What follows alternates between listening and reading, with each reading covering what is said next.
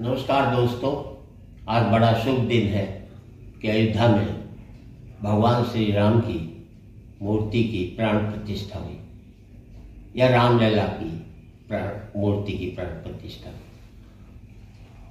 पता नहीं उत्साह में हम क्या क्या लिख जाते हैं क्या क्या बोल जाते हैं। आज जब मैं इस कार्यक्रम को देख रहा था, सुबह अखबार भी पढ़े, उसमें लिखा था श्री राम की प्राण प्रतिष्ठा। कितना गलत वाक्य है। हम कौन होते हैं राम की प्राण प्रतिष्ठा करने वाले?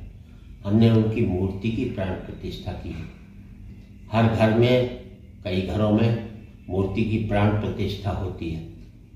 वो तो राम ने तो हमारे अंदर प्राण दिए हम उसकी क्या प्राण प्रतिष्ठा करेंगे?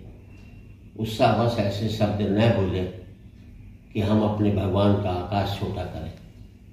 बस यही उम्मीद है आपसे। राम की तो मूर्ति की प्राण प्रतिष्ठा कर ली। हम सब लोग राम को मानते हैं, पर राम की कहाँ मानते हैं? हम सब लोग धर्म को मानते हैं, धर्म की नहीं मानते। हम सब लोग ईश्वर से चाहते हैं, ईश्वर को नहीं चाहे। असली राम की मंदिर की स्थापना तो तब होगी, जो राम ने कहा उस पर चले। ना कि जो उसने नहीं कहा, जो उसने आचरण जैसे किए, हम उन आचरणों पर चलें तो ज़्यादा बेहतर ढंग से हम ईश्वर को जान पाएँगे, ईश्वर को मान पाएँगे और ईश्वर की मान पाएँगे। पुनः जय श्री राम।